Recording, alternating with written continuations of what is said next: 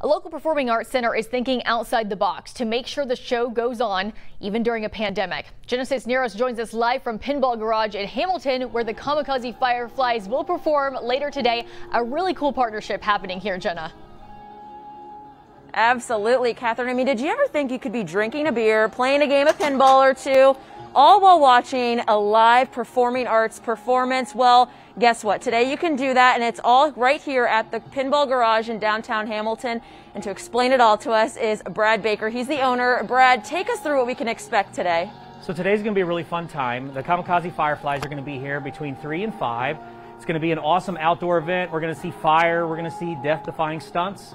And all while uh, you can grab a beer, you can play some pinball. Uh, we're going to have a bar outside.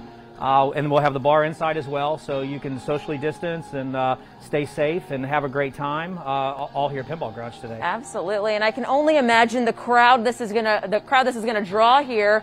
I mean, being a new business, a new bar in this pandemic, I mean, what's this crowd going to do for you and, and, and, your team? It's a huge help. You know, the Fitton Center uh, teamed up with us to put this on, and we're super thankful. We opened in June in the middle of the pandemic right. in 2020 and, uh, and, and it's been pretty crazy. So anything like this that can just bring more people in and get more people exposed to the pinball garage, uh, that'll get them coming back is going to help us a lot. I can only imagine. And then obviously we're following all the COVID protocols. I mean, it's going to be safe when you come here, right? Yeah, uh, we're going to be socially distancing. Uh, we're going to ask, even though we're outside, that you wear your mask because there's going to be a lot of people um, and that you stay with the group of folks that you came with. Uh, and uh, if you come inside to grab a drink or play some pinball, we just ask as well that you just maintain the things that we've been used to for the past year. Perfect. And the show, it's actually taking place outside in the parking lot, right? Not so not inside the bar? That is correct, yeah. They'll be doing all their stunts and all the fun stuff outside. So we've got lots of room in our parking lot. Very uh, cool. Uh, you can come early and grab a spot.